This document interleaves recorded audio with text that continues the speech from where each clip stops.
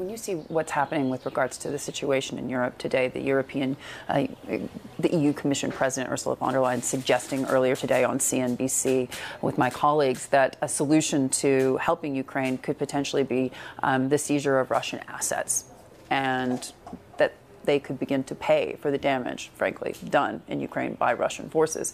As a finance minister, do you believe the West is getting it right when it comes to President Putin's invasion? Are the economic sanctions something that you would advocate?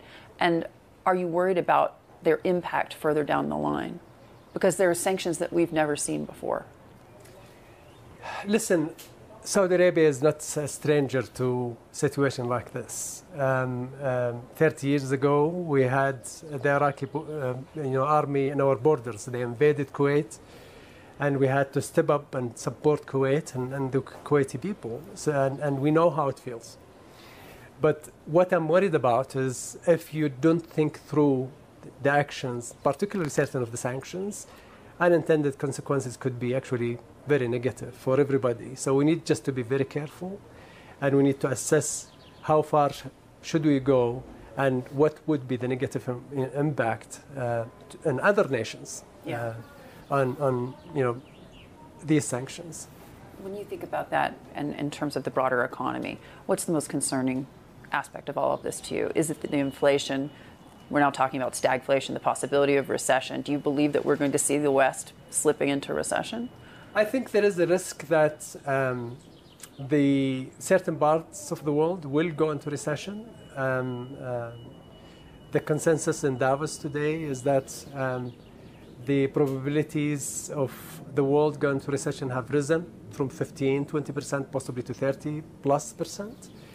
Um, I will not, you know, it's very difficult really to speculate, but I, I think it is unlikely that we will go into stagflation. Uh, I think the central banks of the world will manage inflation, but it is a real problem and it will be painful to manage it. Uh, some of the uh, consequences is going to be a recession, but hopefully not, you know, long-lived. Um, I'm worried about food, and I'm worried about energy crisis. Um, I'm worried about migration. You know, if we are not careful, you will see problems like this rising. And uh, I think there are supply chain issues that people have not thought through. I mean, we talked about even in Europe with energy uh, at this level, and most likely politicians, politicians will have to prioritize households. Yes. You will have to shut down industries. Yes. What would be the consequences of shutting down industries? Fertilizers, which then will impact even more food security for next year. Yeah. Uh, Finance Minister, final question. I mean, when you think about this a bit more broadly, obviously Saudi Arabia tied to the U.S. dollar. Um, you said you felt that the Fed is managing this crisis um, effectively, at least for now. Do you believe that when you look at the U.S. economy today, they're on the right track? Because there is a lot of concern, as you say, not just about the inflationary picture, but also about a potential recession. Are we talking about the U.S.?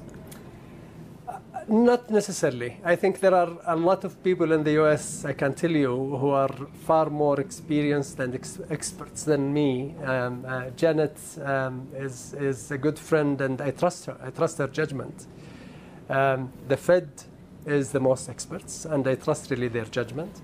Um, I think we will see some recession yeah. in some parts, uh, but I don't think it's going to be for an extended period of time.